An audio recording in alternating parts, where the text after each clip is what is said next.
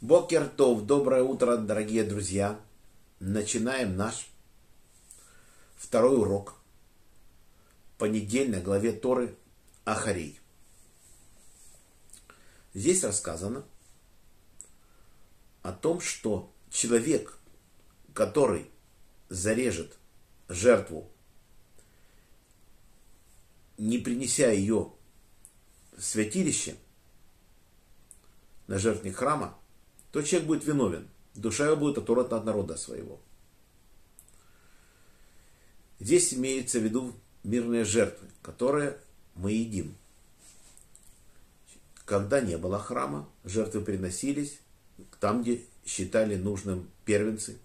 Они были это священниками, и это елось там, где они считали. Можно было все это делать. Но теперь, когда есть храм, жертвы приносятся только в храме. Кровью окрепляется жертвенник. И действительно мясо человек забирает себе домой, может есть его в каких-то случаях.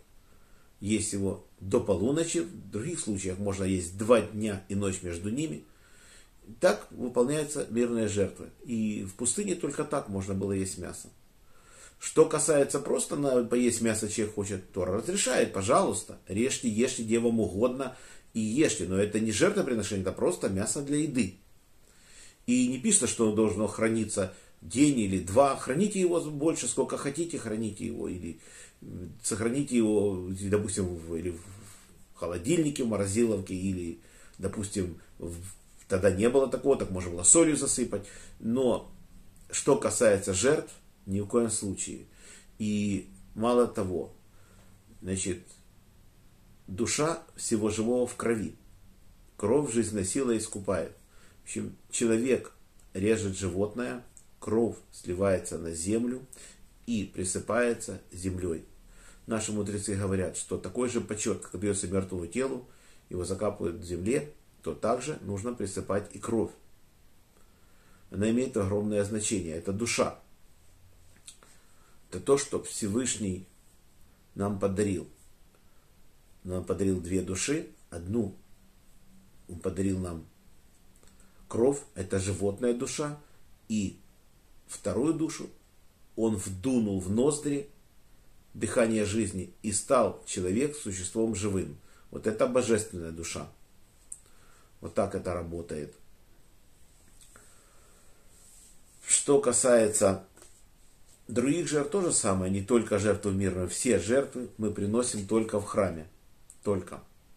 Есть разница, как они приносятся, мы уже не раз говорили, что если это жертва грехочистительная, то кровью мажется рога жертвенника, и жировые части сжигаются, остальное коины обязаны есть, чтобы искупить грехи человека, который приносит грехительную жертву. В случае сожжения коины ничего не едят, шкура остается коину, который ее резал, животное полностью сжигается, делится на четыре части, сжигаются жировые части, сжигается туша, сжигается. Это сжигается полностью жертва, только нечистоты выбрасываются. А что касается мирных жертв, то люди едят домой, забирают их вот так вот. Повинные жертвы так же, как грехочистительные коины должны есть. Вот так. Все на сегодня. Значит, урок был дан за поднятие души Яков бен Нахум, Владимир бен Григорий, Павел бен Ефим, Хаямалка бат Йосиф, Мира бат Авраам, Роза бат Михаэль, памяти Ури бен Харитон, Мендель бен Мендель, Зазроя Светлана бат Клара, Гитл бат Мирьям, Борис бен Мария, Анна бат Ривка, Полина Пер бат Соня Сура, Лена Бат Клара, Женя Бат Ида, Анна Бат Елена, Евгений Бен Софья, Двойра Бат Мирьям, Моисей Бен Ева, Ирина Бат Двойра, Йосиф Бен Раиса, Инесса Бат Маэль, Евгений Бен Берта, Евгения Бат Ита, Исхак Шимон Бен Бейла Мотл, Фира Бат Анна, Гитл Бат Мирьям. За хороший дух Арон Арья Бен Двойра, Низ Бен Нахум, Авигаль Бат Сара. Пусть закончится скоро эта война. Записывайтесь на мой канал, ставьте лайки. Всем всего самого наилучшего. До следующих встреч.